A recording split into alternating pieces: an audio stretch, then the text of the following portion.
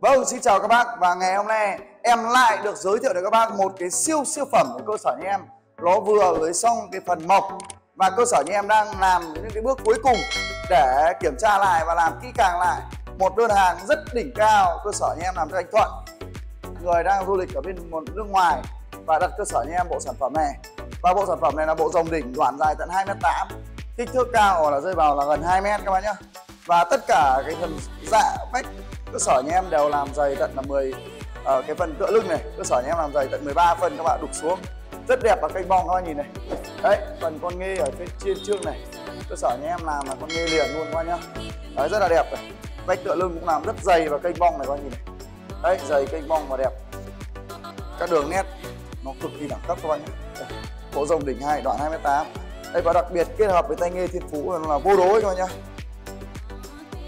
và bình thường trên thị trường người ta làm các cái tay này người ta làm chỉ có là tay ghép thôi các bạn và đục rất là xấu rất là sơ sài. Nhưng mà nhà em làm mà tay liền nguyên khối và tay thiên phú thì các bác biết rồi nó cực kỳ đỉnh cao. Cơ sở nhà em đục cái bộ sản phẩm này thì đục đẹp hai mặt như nhau này. Dạ cong yếm cong chân cong. Chân thì cơ sở nhà em là chân 16 này.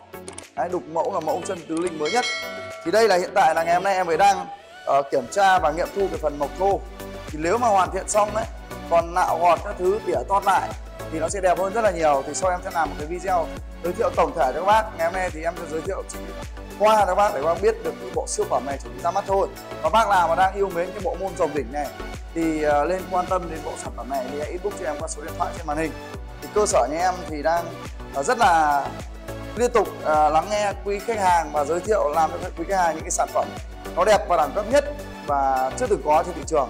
Thì các bác nào mong muốn sở hữu đà hàng đẳng cấp độc lạ hiếm thì các bác uh, cứ inbox cho cơ sở nha các bác nhìn này cái ghế đơn của nó cũng rất là to cao.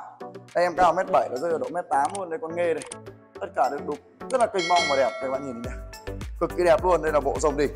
Đấy, rất nhiều bác cũng thích rồng đỉnh và cơ sở nhà em đã làm cái bộ sản phẩm này để các bác biết là rồng đỉnh mà làm ờ, theo lối đẳng cấp thì nó đẹp như thế nào.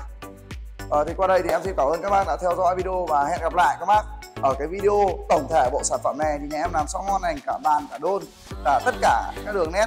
Đấy, thì cơ sở nhà em sẽ làm xong thì sẽ quay một video tổng thể để giới thiệu tất cả ở đại gia đình nhà mình.